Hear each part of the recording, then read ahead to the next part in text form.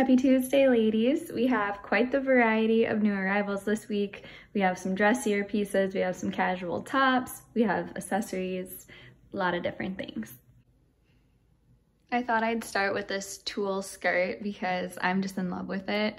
So it caught my eye right away at market. So tulle is very popular right now and you can, I mean, it's dressy, but you can make it a little more casual with a denim jacket.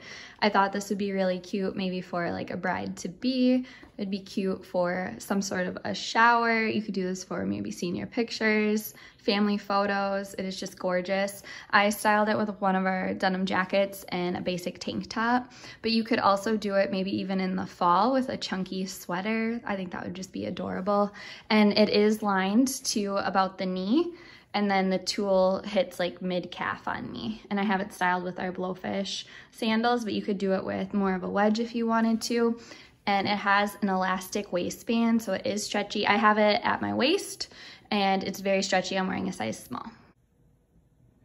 But that being said with the waistband, so you have a lot of wiggle room here. Like I would probably fit in both a size small and a size medium.